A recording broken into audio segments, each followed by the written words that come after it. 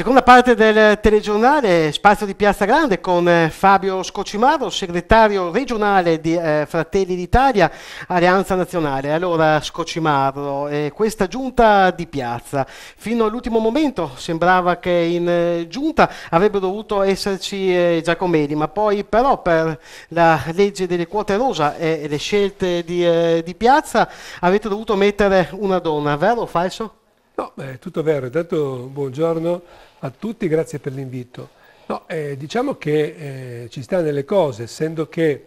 sono previste quattro presenze femminili all'interno della giunta e sono eh, in base anche alle deleghe che venivano date abbiamo fatto una scelta. Certo, se fosse stato un altro indirizzo magari era più adatto Giacomelli, si è parlato anche in bionome, ma io come l'ho specificato già ai vostri colleghi giornalisti ero disponibile solo per un tempo limitato e con delle competenze ben specifiche per essere chiari cultura e sport. E quindi abbiamo fatto una scelta che non dava tanto a riempire caselle quanto a mettere persone di competenza. Vista la competenza dell'Elisa Lodi, che è un avvocato che anche fra l'altro ben conosce gli appalti pubblici, chi meglio di lei all'interno del nostro gruppo per poter andare a scegliere un assessore che abbia i lavori pubblici, che è un assessorato molto importante, molto pesante, non è, non è una cosa semplice da gestire, quindi tutto il nostro migliore augurio a Elisa. Qual è il rapporto tra la Lodi e Giorgio Rossi? Molti voci di corridoio ci parlano di un'invasione di campo da parte di Rossi sui lavori pubblici e la conferenza sul mercato ittico dove rappresenta Rossi, ma non la Lodi la dice lunga. Io sinceramente non ho seguito direttamente se non con voci di rimando. Può darsi che nel, nel fare i primi giorni Giorgio Rossi, che comunque ha avuto questo dire per tanto tempo, abbia, abbia, forse, però in caso di urgenza, parliamo chiaro come sono le cose, diciamo che c'era questa urgenza nel mercato ittico piovuta eh, da esperienze precedenti, un po' trascurate, perché questa cosa evidentemente si sapeva che andava a scadenza e quindi bisogna affrontarla prima. Eh, Roberto Di Piazza e la sua giunta sono trovati a gestire una cosa che non era prevista e che evidentemente in pochi giorni non hanno avuto contezza esattamente delle scadenze, che nessuno lo può fare, non è che, che hai la, la, coscienza e l'onniscienza di tutto e di conseguenza eh, può darsi che eh, nel, nel, nel, fare eh, qualcuno abbia, specialmente nel caso di un assessore nuovo, abbia diciamo, fatto una piccola visione di campo. Non ritengo grave, specie nella fase iniziale, anche perché il, il nostro neoassessore, come tutti gli altri neoassessori, hanno bisogno di un po' di rodaggio. Quindi può darsi che sia così, ma non vedo la cosa particolarmente grave, anche perché l'importante non è tanto chi va a presenziare in un posto o nell'altro, anche se questo è importante, certamente se fossi l'assessore competente di una certa disciplina, di una certa, una certa delega, non è che mi piacerebbe che un altro facesse quello per cui sono delegato. Però, detto questo, conoscendo l'esperienza di Rossi, mi risulta che in questo caso specifico il sindaco abbia chiamato Rossi d'urgenza alle 7 di mattina, quindi anche per cavalleria non hanno svegliato l'assessore competente e quindi ci sta, i primi giorni è così, tutti fanno un po' di tutto, poi è importante che una volta che sia rodata la macchina comunale è la giunta che eh, ognuno faccia effettivamente quello per cui è effettivamente delegato. Parlando di sport, l'assessorato ai lavori pubblici in questi anni dovrà fare miracoli perché molte strutture ormai necessitano di interventi. Sì, è vero, ne abbiamo già parlato proprio da questi schermi. Il piatto piange, mh, mm, onestà vuole che si dica che non c'era tutta questa grandissima disponibilità di risorse in passato, vero anche che quando non hai soldi magari ti inventi come trovarli e quindi il problema va affrontato, specialmente le strutture sportive, campi di calcio, ma anche palestre e quant'altro,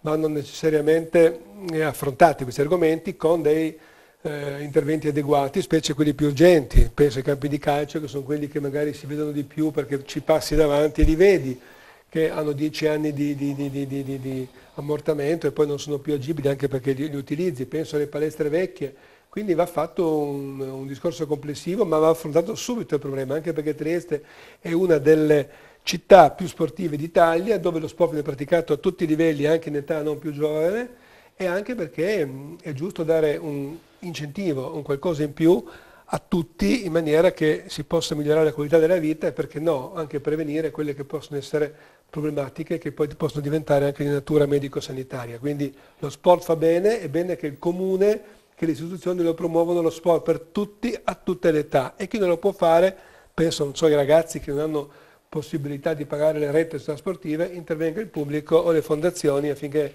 tutti, a prescindere da ogni cetto e appartenenza, possano eh, praticare lo sport.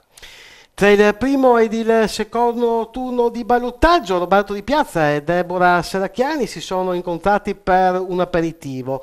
Lei crede che tra i due potrà esserci quel rapporto di eh, collaborazione per il bene della città? È obbligatorio, tutti gli amministratori quando vengono, quando veniamo eletti, abbiamo l'obbligo di dover spogliarci delle casacche e fare il bene comune. Questo l'ho sempre fatto per quanto mi riguarda, per quanto riguarda le nostre giunte, per quanto riguarda tutti quelli che conosco. Quindi non vedo il problema di collaborazione. Poi certamente fra due anni, e noi non saremo tifosi né sponsor di questa attuale giunta, per il quale pensiamo che dopo aver vinto Trieste e Pordenone sia, sia automatica la partenza della raccomandata con provviso di, di sfratto alla Serracchiani affinché quello che oggi governa il Comune di Trieste, il Comune di Pordenone, ma anche Gorizia e il prossimo anno probabilmente anche Udine, sia propedeutico al fatto che governi anche la Regione. Analizzando i risultati in regione abbiamo notato che stranamente Fratelli d'Italia ha preso meno voti rispetto a quasi tutti gli altri comuni al voto della regione dove voi vi siete presentati. Come mai?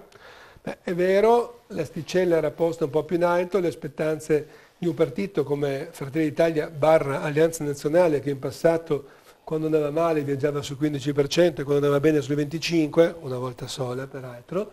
e le aspettative di prendere qualcosa più del 4,3 c'erano, questo è vero. Ma anche detto che in un, in un eh, partito nato da tre anni, con una coalizione dove c'erano tantissime liste e tantissimi candidati di destra nelle altre liste, penso la battuta fatta dal vostro collega che ha detto che il Consiglio Comunale di Trieste è composto da tanti ex missini, io direi anche da tanti ex AN e tanti ex assessori di Alleanza Nazionale che oggi sono assessori in altre liste, quindi purtroppo la sciagurata frantumazione fatta dall'Alleanza Nazionale, dal nostro ex leader Gianfranco Fini, ha prodotto questo, cioè ci siamo divisi in tanti gruppi e partiti quando una volta era un, un grosso movimento forte e compatto. Detto questo, c'era anche un'altra lista con, che ha drenato voti, ma penso anche più di una, penso a Fabio Carini, che certamente di sinistra non è, e penso soprattutto alla lista dell'Alessia Rosolin, che certamente non ha preso voti neppure nella sinistra, e penso che sul maggior bacino dove ha preso voti è nel, nel centro, non, nel, non, tanto nel centro-destra quanto nella destra di Fratelli d'Italia e Alleanza Nazionale, poiché sia lei che Franco Mandelli da questo, dall'Alleanza Nazionale provengono. Per cui se le matematiche danno un'opinione, il 2,8 che ha preso Alessia, io ritengo che almeno un 2% potevano ad andare ad Alleanza Nazionale Fratelli d'Italia nel caso non si fosse presentata o comunque si fosse presentata con altre liste una percentuale simile. Quindi l'asticella del 6% che noi ci aspettavamo poteva essere tranquillamente raggiunta. Un'ultima domanda prima di chiudere dal segretario politico di Fratelli d'Italia, cosa si aspetta da questa giunta comunale?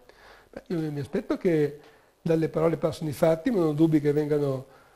seguiti, anche perché eh, il programma non deve restare una lettera morta. Vedete, nel passato la città aveva altre eh, priorità. Ricordo che dieci anni fa, quando finì il mandato di Presidente della provincia, feci fare un sondaggio nei confronti dei cittadini della nostra provincia, eh, chiedendo loro con un sondaggio scritto quali fossero le priorità del 2006. Bene, in testa alle priorità c'erano problematiche sugli autobus, nel senso scalino troppo alto, troppo basso, piattaforme per disabili, fermate pensiline e soprattutto uno dei temi più importanti del sondaggio, non, non ridete, erano le deiezioni canine, le cacche dei cani. Bene, dopo dieci anni penso che i problemi sono ben altri, con questa invasione che abbiamo di, eh, di, profughi piuttosto che di clandestini, con le problematiche della delinquenza in città, senza fare allarmismi, ma non si sta bene come dieci anni fa, con una serie di problematiche economiche che oggi tutta Europa ha, eh, in, ed Italia in particolare, ha, quindi da affrontare sono problemi enormi rispetto al 2006. Questa giunta lo deve fare, lo deve fare meglio possibile, l'ha promesso e io sono convinto